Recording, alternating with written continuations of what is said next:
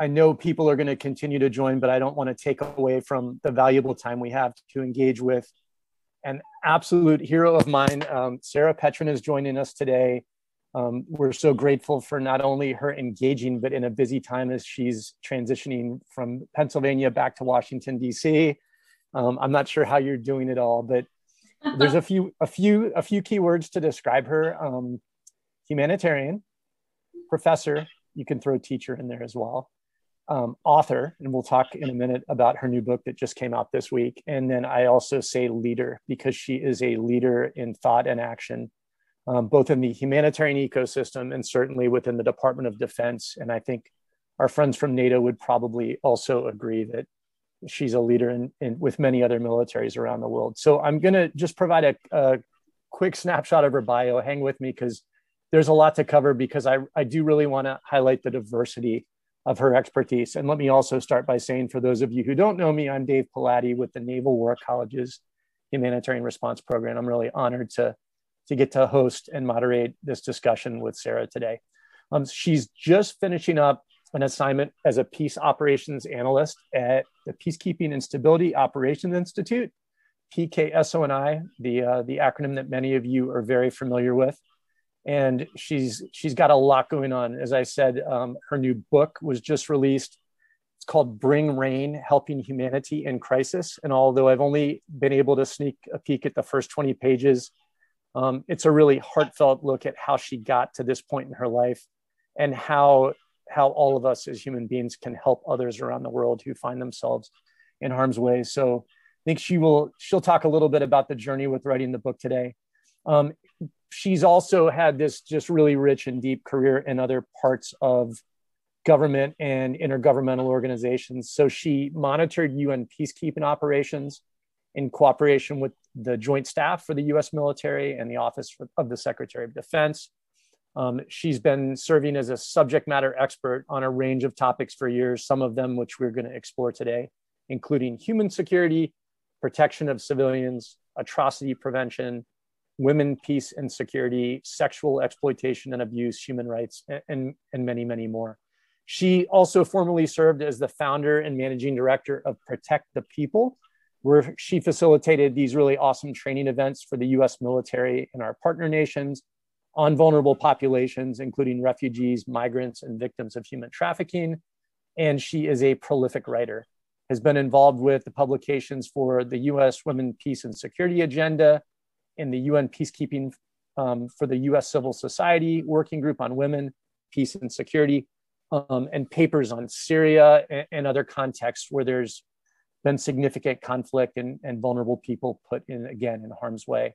She continues to advise the Center for Strategic and International Studies Task Force on Women's and Family Health, providing policy recommendations on health implications of the global refugee and migrant crisis. And she spent significant time with NATO and just so we do get a chance to get to her, I will close out with she completed her undergraduate studies at Gordon College and has a really impressive master's degree from our friends at Oxford University and the Refugee Studies Center. Um, a few notes we are recording this, it is recording. So just if you ask a question, keep that in mind. And since we are recording, Sarah might opt to not answer the question, although I'm sure she will at least give you some semblance of her thoughts, but we want to be respectful of all the various positions that she holds and who she informs with how she may or may not decide to answer.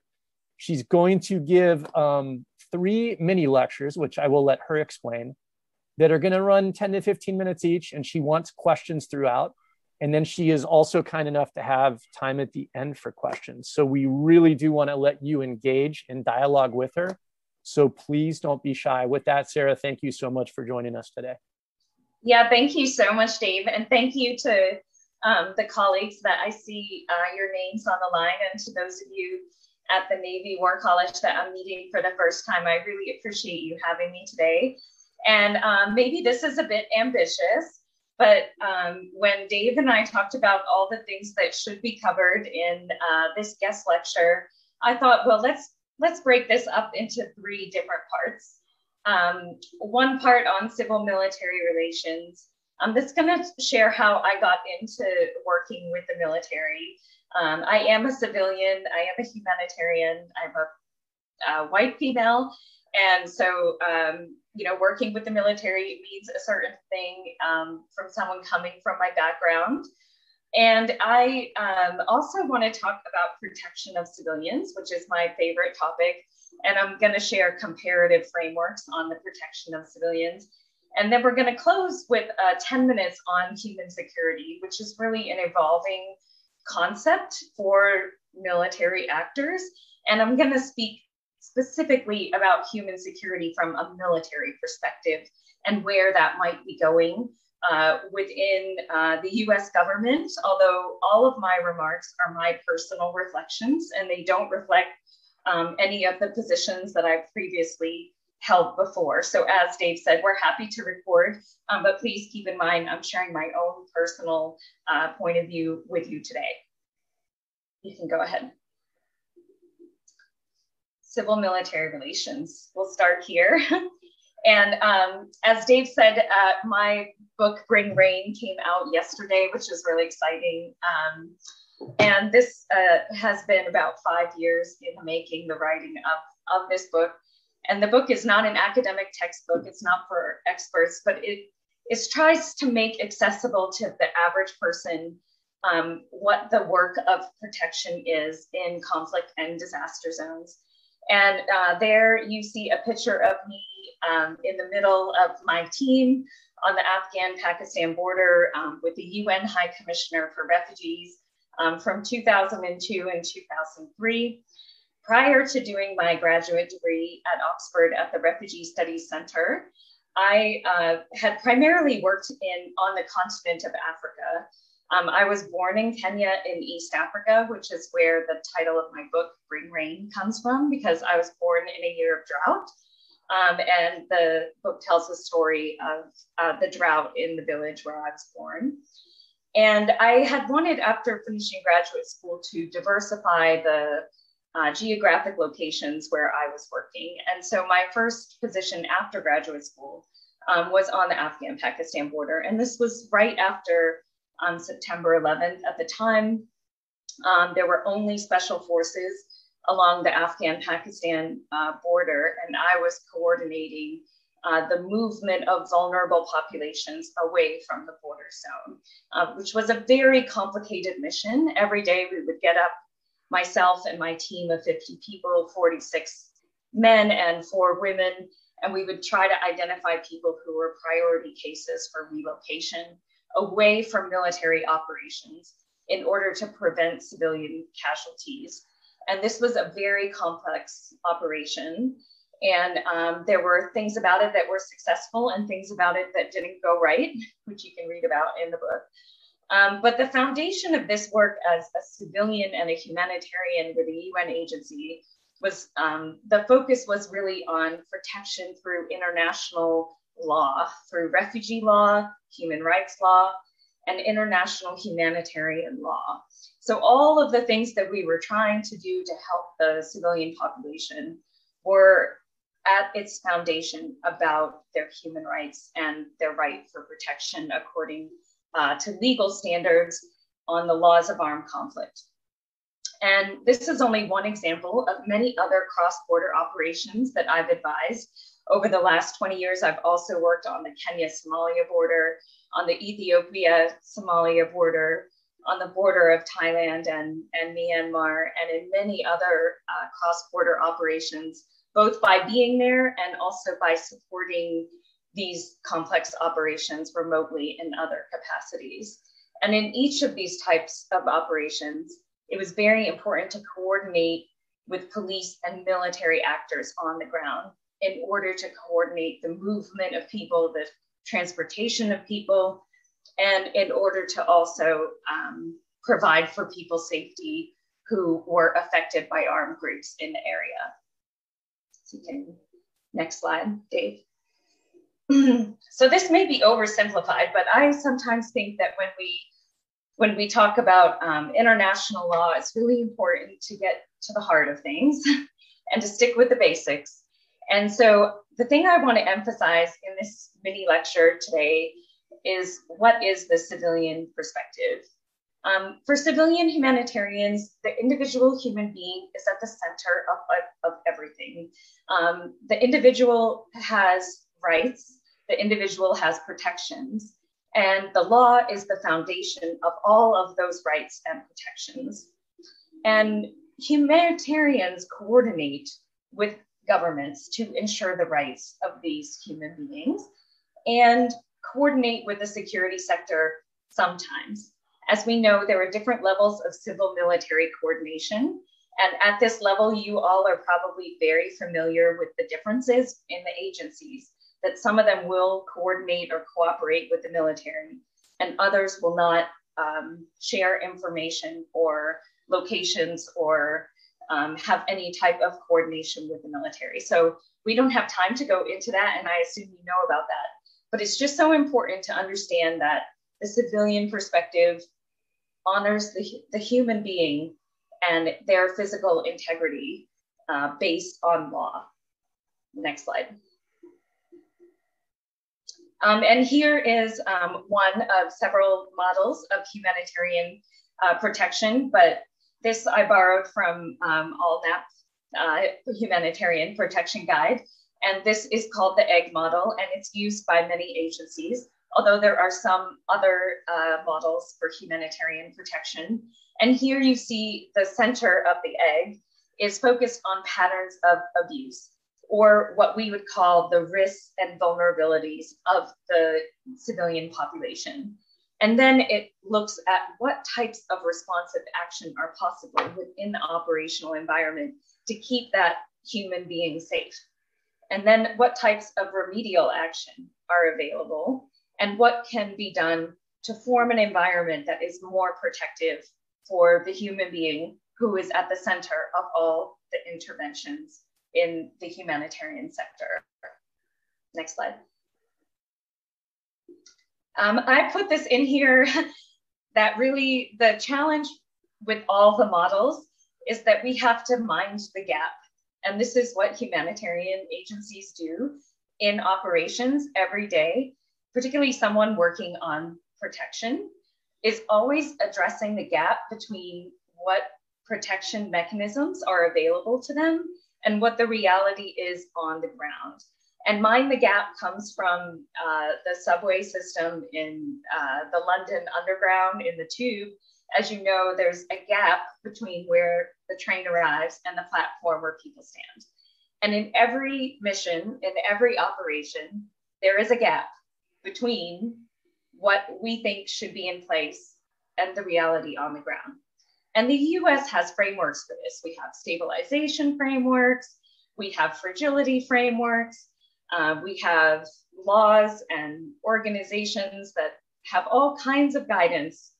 I'm just going to generalize by talking about some of the realities on the ground that I see as being the most common in all the different types of conflicts that I have been analyzing over time, which is a lot. Um, and really, when it comes to the rule of law, we see not only weak courts and insufficient national laws, we also see the use of traditional justice mechanisms that sometimes really don't do justice to individuals and their human rights. We see institutions within the government that are either malfunctioning or non existent. And we often talk about this as being uh, governments that are incapable of providing services to their population. We see a security sector in the form of police or border patrol or militaries that should be providing public safety, but are either corrupt or perpetrating violence against the civilian population. We see infrastructure such as uh, water sanitation systems, um, telecommunications uh, systems, and also uh, shelter and other forms of infrastructure that are either damaged or collapsed. And then oftentimes our frameworks don't consider the financial mechanisms and means that people have for their survival. But we know that in many conflict zones, there's limited access to capital, different forms of a cash economy, and different ways of having barter and exchange that lead to the proliferation of a black market that is controlled by gangs and other types of criminal actors. And then we also see a breakdown in social cohesion and fractured divisions between groups of people, and also violence within communities. So, civilians committing violence against other civilians. So, there are all these gaps, regardless of all the good frameworks we have in place. Um, this is the reality we have to work in, whether you're civilian humanitarian or uniformed uh, police or military. Next slide, Dave. Um, so that really leads us to what I kind of call the dilemma of physical protection, which is what I have spent most of my career focused on, is how can we physically protect people from being compromised, from um, having a violation against their physical integrity as a human being, whether that uh, results in uh, death or casualty or rape or sexual violence or injury or maiming or some other form of physical violence. This is really a major gap that honestly we should see national police, we should see uh, national militaries, uh, border patrol, government officials, and national laws um, that can provide this physical protection uh, for people who are vulnerable to harm being committed against them. But what we often see, and I'm generalizing from many different countries here, is um, that local leaders and militia groups hold a lot of power, maybe perhaps more power in certain conflict zones than any of those formal uh, government institutions. And that those groups are loosely affiliated with uh, formal government structures. And some people um, call these groups non state actors. But I think what we're seeing as a trend is not only non state armed groups in the form of terrorist groups and criminal gangs, but even more loosely affiliated types of people who have weapons and are a harm to others. Um, we see the fracturing of the economic, political, and social structures um, in conflict zones.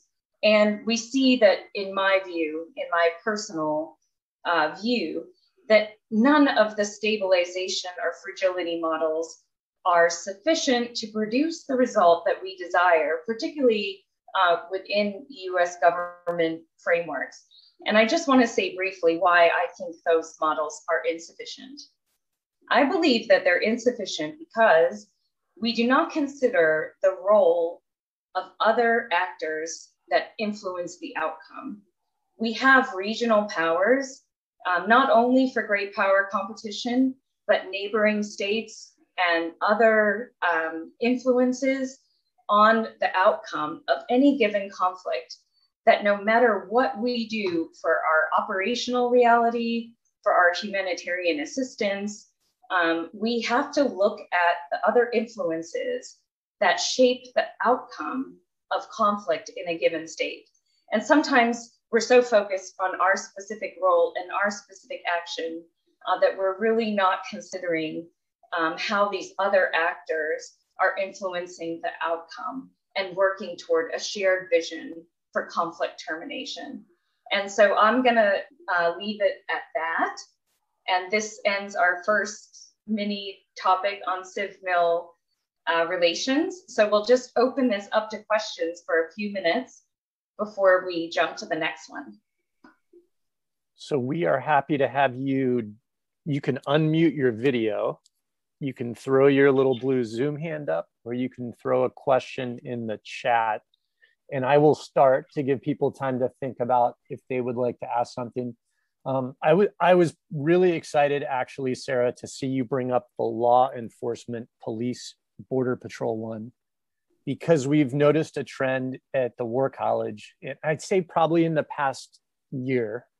Um, some would say maybe related to COVID and border issues, and and and others would just say it's it's a conversation that's been taking some time to to happen. But an increasing number of NGOs have wanted to talk with us and our other academic partners that work on the civil military engagement coordination stuff. They wanted to talk about police coordination and law enforcement coordination. So I wondered if you would just give some additional thoughts about that and maybe there's there's clearly a lack of of guidance, doctrine, processes, um, if compared to civil military coordination. So any overarching thoughts? And in the meantime, if anyone else has a question related to civil military engagement, um, please jump in. Thanks, Sarah. Yeah, thanks so much, uh, Dave. The policing role for public safety is super important, and it's not always uh, fully understood by other uh, protection actors. Um, but particularly because I have worked with refugees and migrants and um, people affected by human trafficking and done a lot of cross-border operations, you um, know that when you work with the security sector, that the military is only one of many different types of um, uniformed personnel in any given environment. And so coordinating with um, border patrols or um, interior police and other uh, forms of authorities is really important. And um, thankfully, at my um, former, uh, in my former role within the Peacekeeping and Stability Operations Institute, we do have a really uh, renowned policing expert, um, Dr. Karen Finkenbinder, who I've worked with on um, stability policing frameworks for NATO. And it's really important um, to realize that not all nations have the same model of policing that the US does. In fact, our model is very unique, and um, there are some nations that are more equipped to provide stability policing um, that kind of mind that gap between police and military roles. And Italy, in particular, is very good at playing this role um, in conflict zones. Thank you so we do, I've got a chat that uh, our friend Johnny Robinson, our colleague, has a question for you. Hey, Johnny. Hi, Sarah. Thanks very much for the presentation so far. Um, I, am probably going to ask a question that you get asked all the time, uh, but you know, I was wondering if you had any thoughts about uh, you know some of the technological solutions that are coming out in this space uh, in terms of protection of civilians, protection of humanitarian workers, such as you know humanitarian notification systems or kind of blockchain solutions and things like that. And I wondered if you could speak a bit about that in from your experience. Uh, that would be great. Thank you. Yeah, well, I it's funny. I would ask you a question too before I answer. I mean, are there particular technologies that you think are are effective and are working well? Um, yeah, it's a good question. I mean, you know, I work with Dave on the humanitarian response program, and we're currently looking at the humanitarian notification system. Um, uh, and I certainly know in in Syria, where where my a lot of my background is on the humanitarian side of things, um, it hasn't worked so well, uh, or it is perceived to have not worked so well. Whereas in other contexts um, around the world, it perhaps has worked better. So it seems like there isn't a one fit solution at all. But um, yeah, just thought I'd uh, yeah see what your thoughts are. Yeah, thank you yeah, Syria is a unique case unto itself. But um, I would just say that at the time when I was um, managing operational uh, programs and uh, cross border uh, zones and things like this, and it, it has been a few years since I've been more focused on educational uh, work. But when I was directly in operations every day, um, it predated when, um, when drones and uh, unmanned uh, aerial vehicles were available to the humanitarian community. Of course, those have been available to the military for some time now. But um, for example, uh, when I was in Afghanistan and Pakistan, at, at, night I used to dream that I was a bird and that I could fly above all the towns and that I could just count all the households and count all the people in the refugee camps because it just took so long to reach everyone in such a vast terrain now organizations like the International Organization for Migration and the UN have access to these um, types of systems that can collect huge amounts of data. And also, human rights actors are using um, different uh, surveillance systems um, to track civilian casualties. And um, those are just producing like amazing um, awareness of situations that we would not have had those kind of um, big picture views of. And they're also um, creating different versions of the same story, right? Like we know with groups like Airwars that their data doesn't match uh, US government data on certain conflicts. So I think that that this is a very good thing that we can have a more uh, big picture discussion because of those technologies. Um, but certainly, when I think of Syria, I think of all the different early warning systems that people have tried to put into Syria that warn people of aerial bombardments in advance of their occurrence and all the efforts that have um, been made. There have been so many groups who have worked on this. And I think they all feel like you that the results have been mixed and that um, sometimes they've been able to save lives and sometimes uh, terrible things have happened and uh, they were not able to prevent it. So um, I think it's a mixed bag, but I think anytime we can see the bigger picture and have a more honest civil military dialogue, it's a good thing in my personal view. I have I have a chatted question, but they said that they basically said um, perhaps it's better after you cover protection of civilians. I would love more thoughts on you about engagement with non-state armed groups, and I probably agree with them. And then, uh, not a private chat to me. John Hirsch just put one up in chat. John, if you'd like to jump on camera and just ask, that's totally great, if you're willing. Otherwise, you have to hear me play John Hirsch on. I television. think I saw. I think I saw it pop up, but maybe you could voice the full question.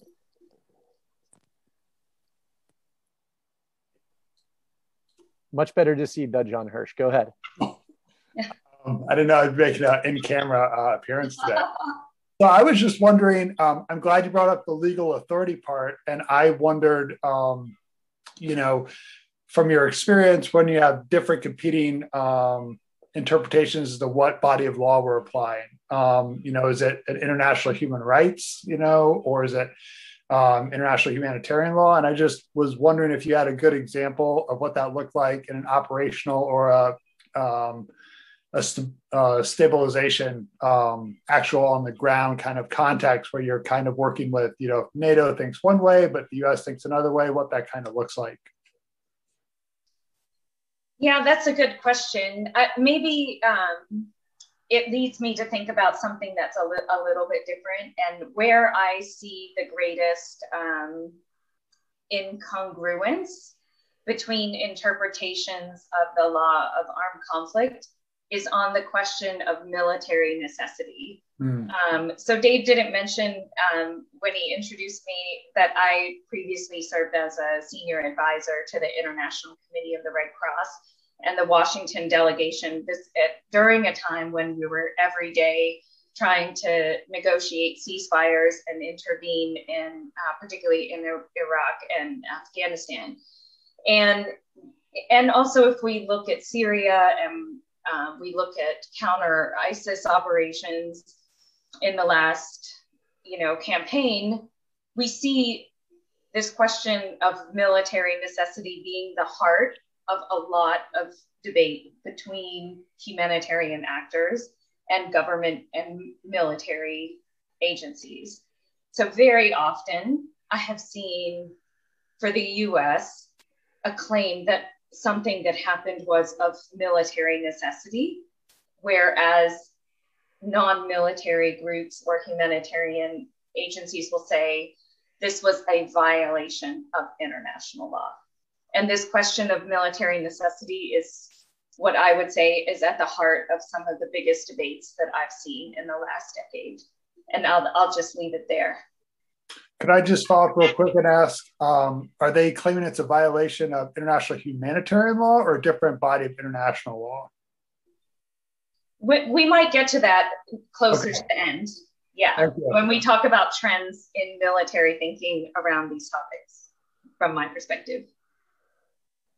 Thanks, John. And Sarah, if you're good, we'll move to protection of civilians. And if you can just remember, there's would love to hear more about non-state armed groups was the other okay. question. Yeah. All right, we'll move on to POC. Um, but keep keep coming back to me on that other one. Um, so some of you may have seen me give this presentation on protection of civilians um, in the past. This is probably one of my favorite presentations to give um, because I find that a lot of people, they don't uh, know about the different frameworks for protection of civilians and how they compare to each other.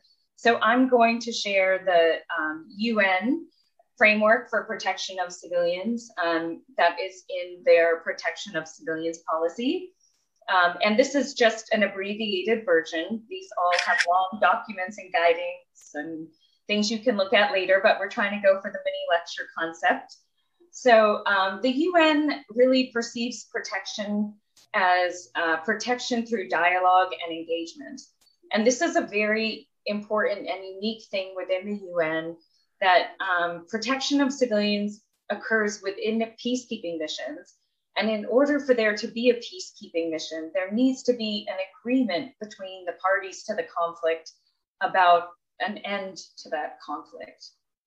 And that may seem just so basic to all of us, but it, it's a big deal because they perceive the ongoing political dialogue with the armed groups to end the conflict as a major aspect of their protection activity.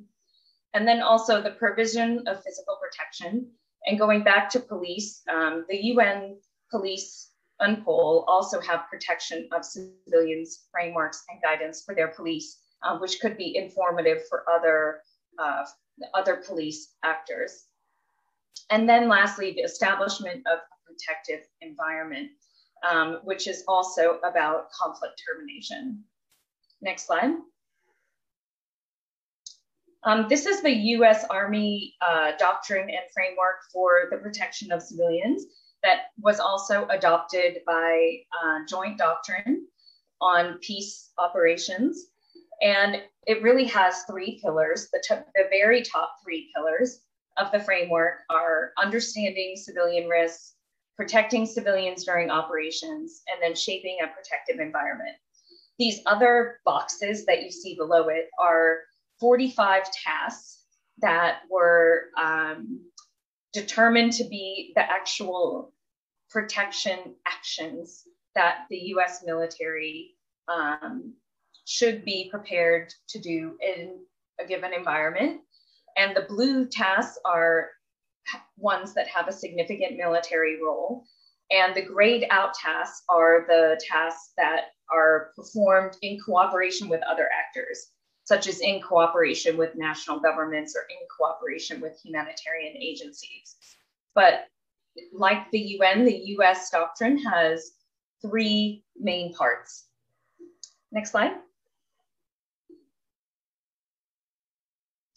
Um, this is the NATO military concept on the protection of civilians, which I was part of developing with the Allied Command Transformation. And um, it is really a different model than the UN and the US. And it has a lot of different parts to it.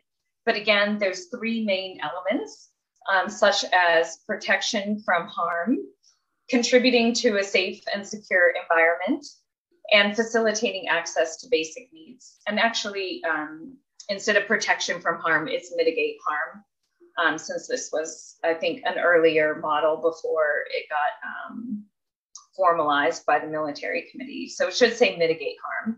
And when NATO talks about mitigating harm, it talks about mitigating harm from its own actions.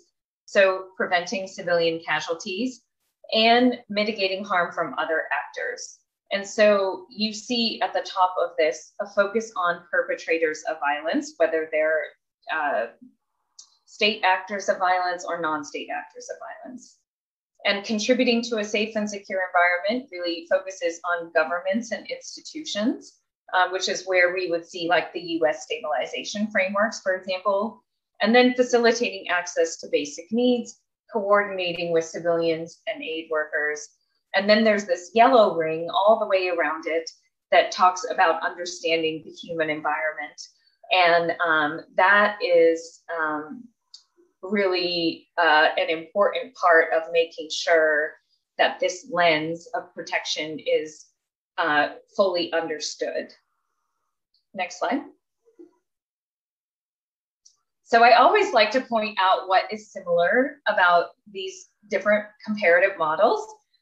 All three, the UN, the US, and NATO, focus on physical protection from harm as the key part of the military role, which is, I think is what really led someone like me as a civilian humanitarian to want to work with the military because I consistently saw people losing their lives and being physically violated. And I wanted to prevent that type of thing from happening.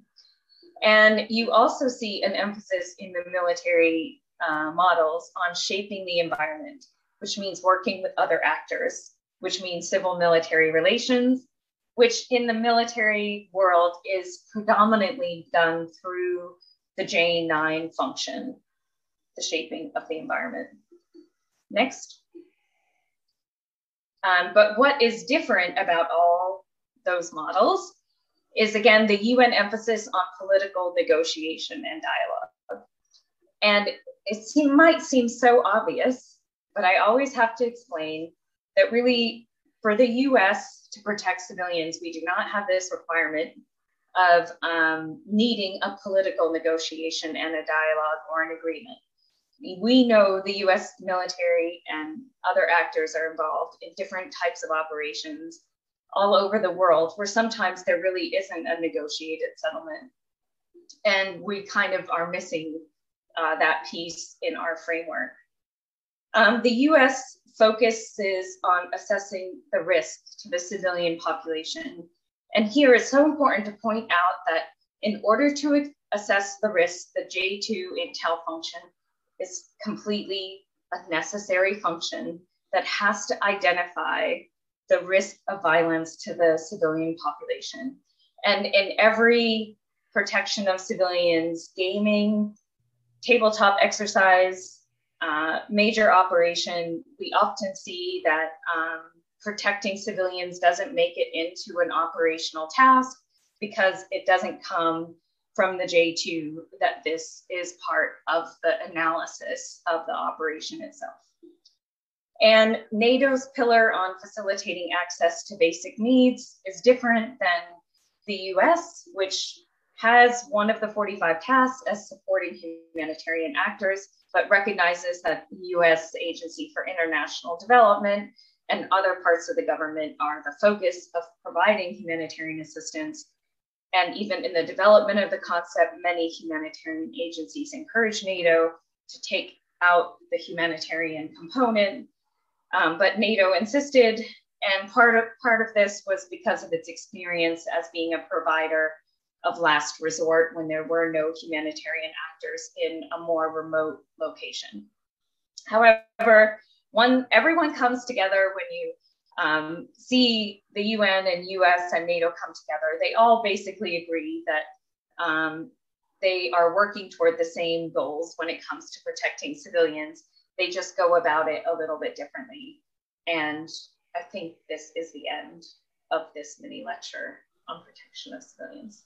So we'll stop there. Yes, it is, and I will open the open the floor for questions. You're you have this this uh, new presentation down pat. Um, the floor is open, and in the meantime, just to keep the dialogue going, um, as as you and I spoke a little bit earlier today, we've we've seen significant issues in dozens and dozens of contexts around the world with protection of civilians, both from conventional militaries and, and non state armed groups. But the one that I think concerns the War College the most and a number of our partners, including Civic and Stanford and the Army War College, is looking at potential great power conflict in the future. So, large scale combat operations between peer or near peer adversaries. And if, if you scale up the conflict, the protection of civilians uh, issues become um, much, much more complex than we've seen, even in contexts like Syria and Yemen, which have been pretty horrific. So, my the first question, as we see who else wants to jump in, is really what concerns you the most about this this future great power conflict, this this potential fight between peer adversaries? Yeah, thanks, Dave. Well, I think it probably is the same concern that all of us would have when we think about great power competition I mean, I, if if someone has information on this that I'm not aware of, I would I would love to hear more about the protection of civilians frameworks uh, for Russia and China. But we don't really know um, that there are a any frameworks in place that um, that even bring them close to these types of considerations for operations. And certainly the role of Russia and uh, Syria and other places like Ukraine too is uh, particularly disturbing. And so, what do we do when we're in this system where we have all these resources and attention going to these um, these country relationships, but protection of civilians isn't part of our dialogue? So, I would say maybe part of the solution is including protection of civilians in the dialogue that we have with Russia and China and trying to come to some greater agreement about what the basics are. And uh, this is a very complicated um, issue to address. Thank you. And we have a question from Marla. Thanks for joining us today. Yeah, thank you so much um, for having me, Sarah. This is fascinating as usual. Um, I just wanted to bring up a question um, that kind of follows on in your, you know, great power um, and LSCO sort of issue. Is that you know TJAG PD just uh, wrote this what I consider fairly disturbing article about how if we do find ourselves in a near peer or peer to peer conflict that is um, large scale combat operations where he used the example of you know columns of tanks and and fighting out in the field that basically all of the lessons that we've learned about POC over the last two decades will become moot and it will just be IHL only. And so I'm wondering what you think about that um, and what you think some arguments against that might be from, from your standpoint. Yeah, thank you. Um, my last slide is going to address some of the trends that we see, and maybe I'll give it away a little bit. But one of the trends that we see is this idea that our national laws are the only thing that matters, and the law of armed conflict is addressed in US law. And um, this perception that international humanitarian law never ends, um, that there's never an end state, is always changing, and it's maybe more expansive than what our laws of armed conflict uh, recognize. And again, I just go back to my comment about military necessity. If we have leaders who believe that it's of military necessity to have large scale loss of life, um, then that argument um, might well be made. And I think you've said many times also, you know, that you can drive a truck through um, international humanitarian law. And that's where some scholars say, well, no, we need more adoption of human rights laws and we need more frameworks and new frameworks.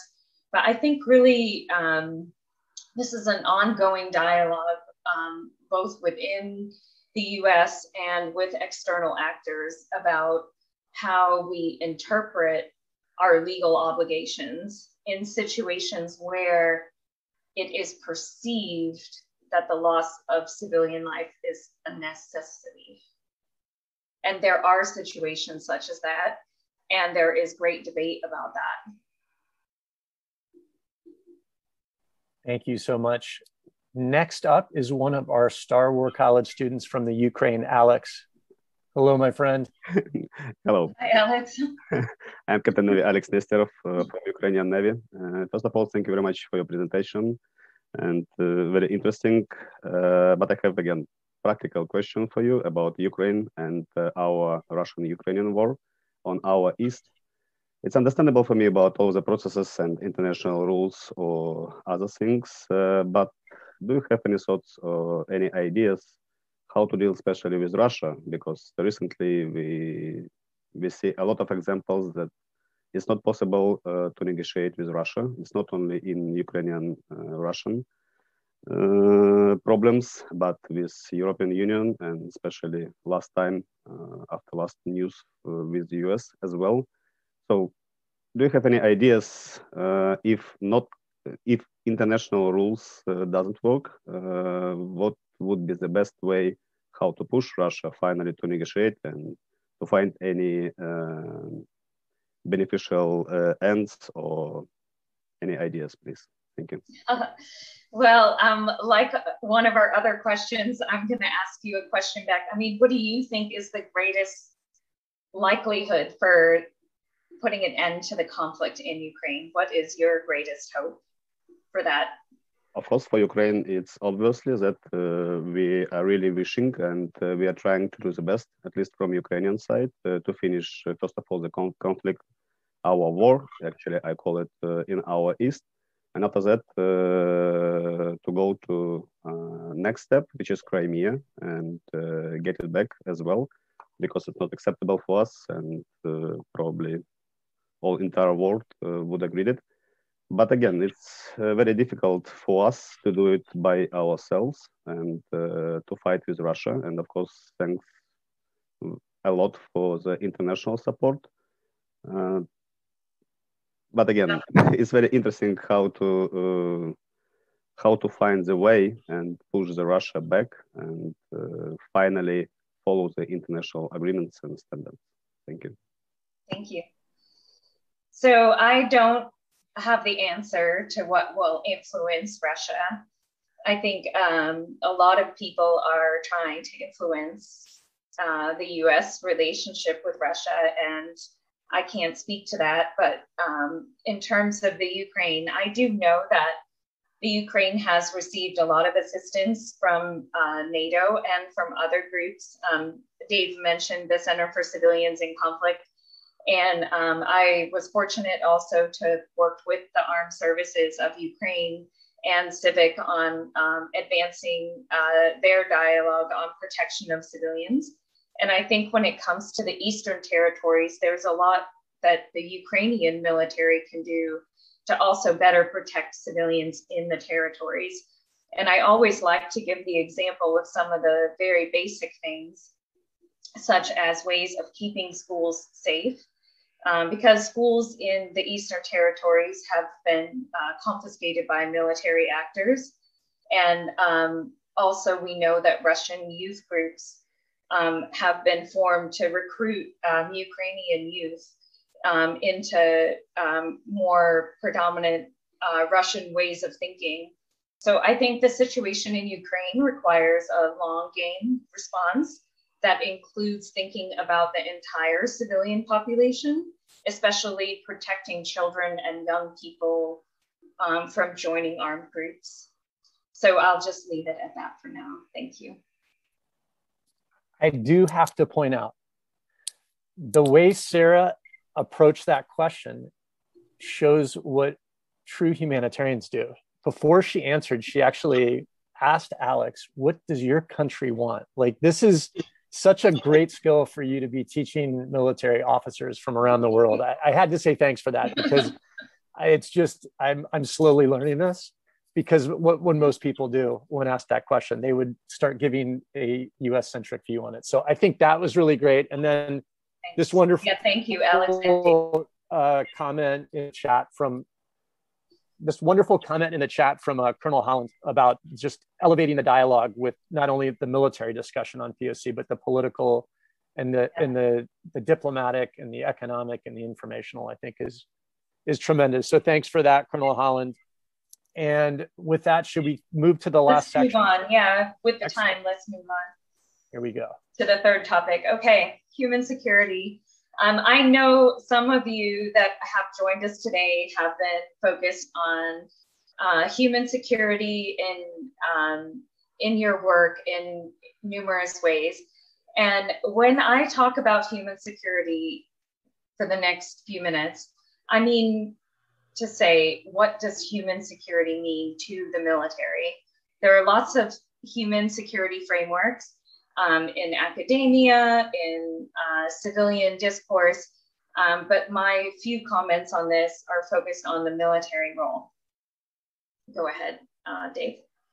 Um, so human security, the original concept of it comes from a UN uh, Human Development Report in 1994 that has these seven uh, concepts of security of what, again, human beings being at the center of the model as a civilian model, um, what people need to keep them safe.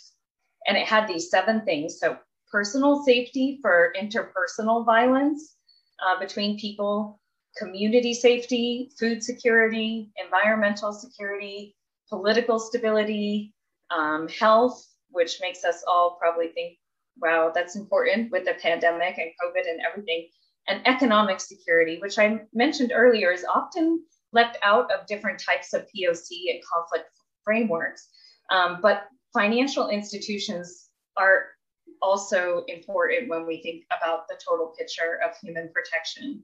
So this was the original uh, UN consideration of what human security meant. And they meant it as a framework to help guide governments toward uh, greater human development when they created this. It was not meant to be uh, for the security sector in particular. Uh, next slide. So how did human security become something that the military um, is thinking about and getting involved in? And it's really because the UN Security Council has over time established numerous resolutions on what we within um, at least within uh, some of the DoD conversations call uh, cross-cutting topics. Um, and these cross-cutting topics um, are unique disciplines unto themselves. Um, one is the protection of civilians, which we talked about in the UN uh, resolutions are really focused on peacekeeping missions, but there are also resolutions on children in armed conflict, women, peace and security, uh, which is about empowering women to uh, participate in the political process and also protecting women and girls who are vulnerable to certain types of violence, such as conflict related sexual violence and sexual exploitation and abuse. But there were UN resolutions on many other topics, including cultural property protection and human rights and, and many other things that are considered cross cutting topics that are almost unique disciplines. And in some cases, the UN has created uh, special offices of the Secretary General to address things like children in armed conflict or conflict related sexual violence. And now we see NATO also trying to address some of the same cross cutting topics and themes within its overall uh, protection of civilians and human security framework. Next slide where is this going? So here is the North Atlantic Council for NATO, and um, NATO created a human security unit at its headquarters, and that unit is co-located with the Women, Peace and Security unit um, of NATO. And this office addresses all of those umbrella topics that have UN Security Council resolutions. But NATO does not think like the UN. NATO is a very different institution and alliance than the UN. NATO is predominantly a military entity with some diplomatic uh, capabilities as well. And so there is a little bit of a struggle about whether or not human security is just an umbrella topic that addresses the cross cutting themes or whether human security is a new concept that the military should define and use as a planning tool? And if so, what purpose or use would this new human security concept actually serve a military alliance? Next slide.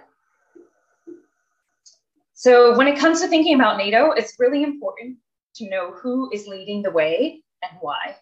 Because one of the primary differences between NATO and the UN is that NATO is an alliance of predominantly military actors. We know that the US has the political mission to NATO that has state, and it has the military mission that um, is the DoD role aligned with EUCOM and all of this. But NATO's predominantly a military alliance. Um, it is not necessarily uh, civilian in nature in the same way that UN institutions are civilian in nature. But within the United Kingdom, the Ministry of Defense has established a doctrine for human security. And that doctrine combines their uh, guidance on protection of civilians, targeting, and Women, Peace and Security. And the UK Ministry of Defense also has human security units who are operational and deployed in the field in conflict zones who predominantly are looking at issues related to gender. Canada also is one of the leading uh, militaries that has uh, embraced the responsibility to protect and atrocity prevention as a role for uh, the military. And this is uh, something that um, the Ministry of Foreign Affairs is often the lead on with negotiating and supporting uh, countries in conflict and trying to reduce atrocities. Um, but there's a, a, role for the military in, in Canada in, um, in also uh, preventing atrocities. And Canada also has a Center of Excellence on Children in Armed Conflict, uh, the Dallaire Institute, uh, which is uh, founded by Romeo Dallaire, who uh, also served in the UN uh, peacekeeping mission in Rwanda. And then the Nordic states are huge on women, peace, and security and have a separate military training center uh, on gender in military operations. And I was somewhat tempted to add the US here, but I think for the US, we're still not sure exactly um, how human security will be conceived of within the government and within the military. And as Dave and some others know, I um, have done a lot of work on this in my previous role at the Peacekeeping Center, and uh, we'll see how it turns out. Um, and we can take some questions on that later. Next slide. So, what is human security to the military? I think that human security is predominantly a good planning tool and can help the military understand the operational environment and have a sharper picture identifying risks and threats and knowing what to expect um, in any given environment. But the really unique thing about human security is that it provides the military with an opportunity to look at different types of threats Right now, international law is focused on armed groups. International humanitarian law, very focused on armed groups, perpetrators of violence um, who are, you know, maybe formal militaries, maybe not state armed groups, maybe loosely formed militia groups.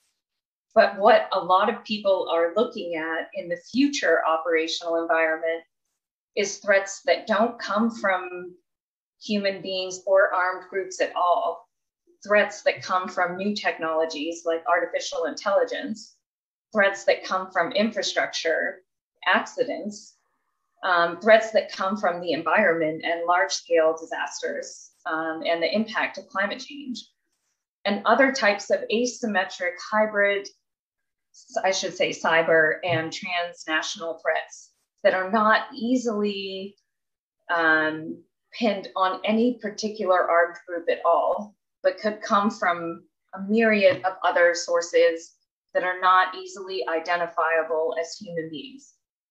I think human security offers us a framework for looking at these non traditional threats. The challenge, I think, when we talk about human security is that some people like to use it as a bucket for everything. And they like to use it as a bucket to think about all threats and all aspects of conflict and everything that happens with human beings. And I think that that is too much. Uh, we have to somehow narrow the scope of what human security is and what it's not. Um, and so this the verdict is still out on how this will play out from a US perspective. Next slide.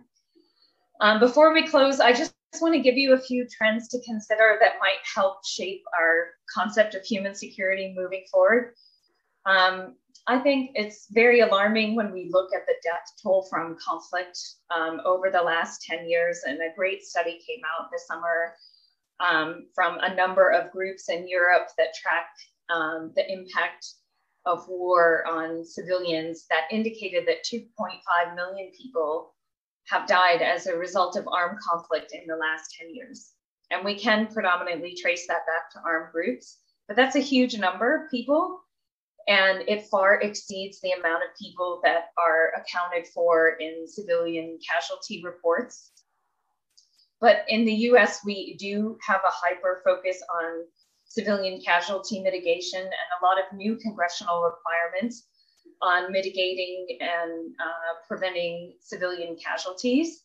And maybe these requirements, uh, some academics have started to say, have uh, shifted our focus from thinking about the big picture of um, reducing violent conflict and improving the overall outcome for the civilian population. And then, as others have said, the grand uh, strategy and uh, is really about great power competition. And there's a hyper focus on uh, great power competition right now. And yet, are we really influencing Russia and China on these specific topics? Um, I would gather to say that uh, no one has figured out how to sufficiently influence them in this particular area. And then there's also a debate about whether international law really matters or whether domestic laws, rules, regulations, and guidance are sufficient for addressing civilian harm and what is really required of the military. Um, I'm sure some of you know that across the spectrum of civilian considerations, um, that there are some people who only want to do what is required and let uh, the civilian humanitarians save lives and help others. And let's just stick to this business of uh, focusing on the enemy and doing the job that the military was meant to do. And um, so there's a wide spectrum of perspectives. But my particular question uh, that I think the military does need to answer is whether or not human beings are really a strategic consideration and why or why not. And some people would say that they are, and some people would say that they aren't. But as a civilian humanitarian myself, I do think they are a strategic consideration and that it would behoove us um, to continue to focus on their well being in the future. So I'll uh, end there and open the floor back up. Put this up for a few minutes and then we can just go to camera. Let me let me also ask Sarah, would you like to stop the recording and open it up for a little more informal discussions or sure, we can keep yeah, it running? No, it's up to you. Yeah. We'll okay, bef- we'll- before we stop, I will go ahead and just say huge thank you so that the uh, recording finishes on a high note. This was a wonderfully rich, deeply educational discussion, I know, for everyone on the call. And with that, we will close it and then we'll do a proper thank you at the end as well.